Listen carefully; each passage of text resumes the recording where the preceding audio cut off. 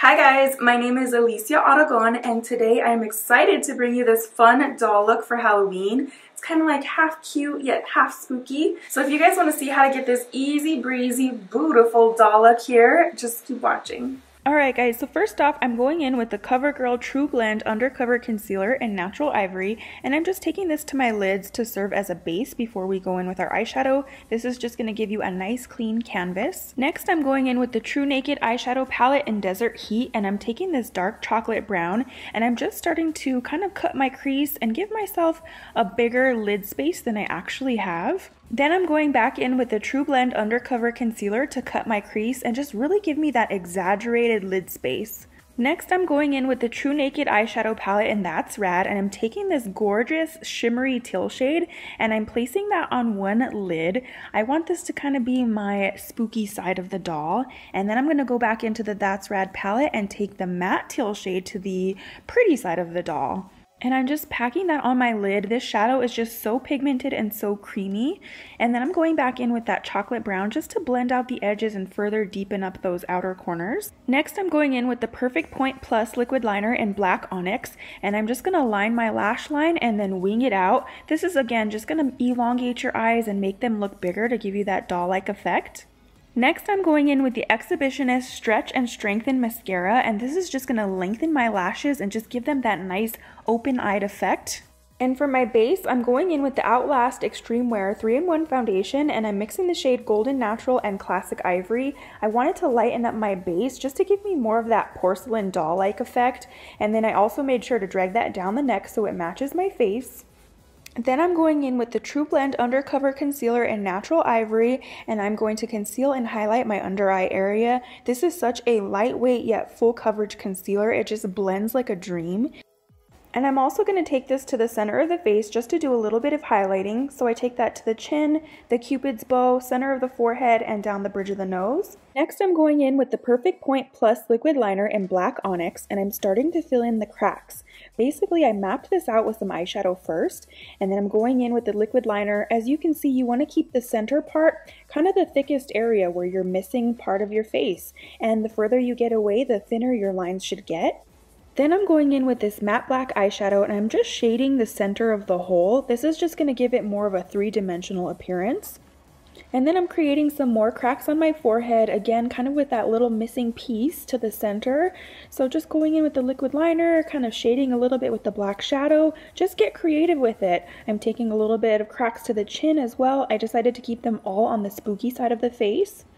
And I'm also taking a little bit of that matte black shadow from the That's Rad palette just to contour my face a little bit and kind of just muddy things up, make it a little bit more spooky. Then I'm going in with the Trublend So Flushed High Pigment Bronzer in Ebony just to kind of bronze up and contour the pretty side of our doll. So I'm taking that to the jawline.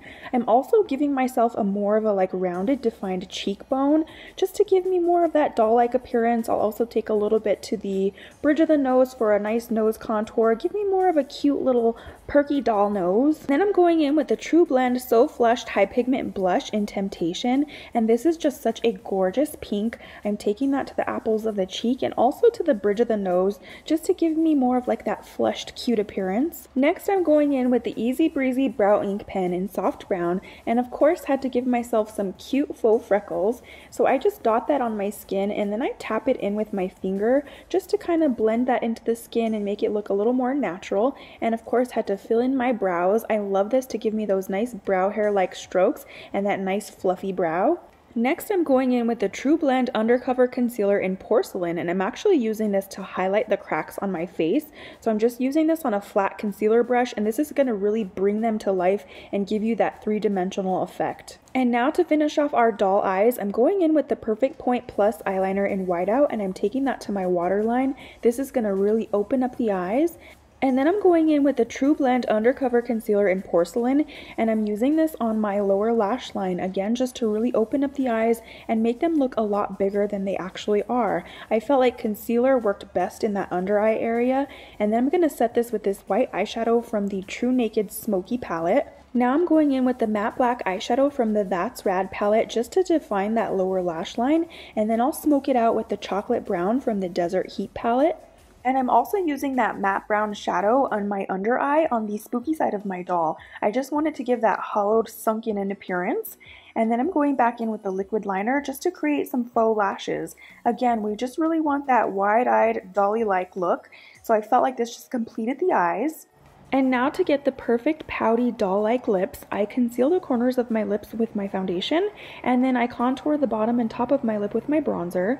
Now I'm going in with the Exhibitionist Lip Liner in Caramel Nude, and I'm lining my lips, but I'm not entirely lining the lip. I'm cutting them a little short and just making them shorter and poutier than they would be naturally.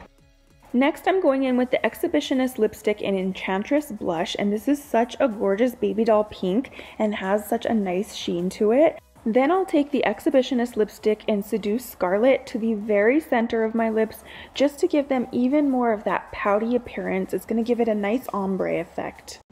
And this is the completed look. I hope you enjoyed this tutorial. Thank you so much for watching. Don't forget to follow me, Elicia Aragon, as well as CoverGirl, and go check me out on Instagram at Lisha Loves Makeup. And I hope you guys have an easy breezy, beautiful Halloween.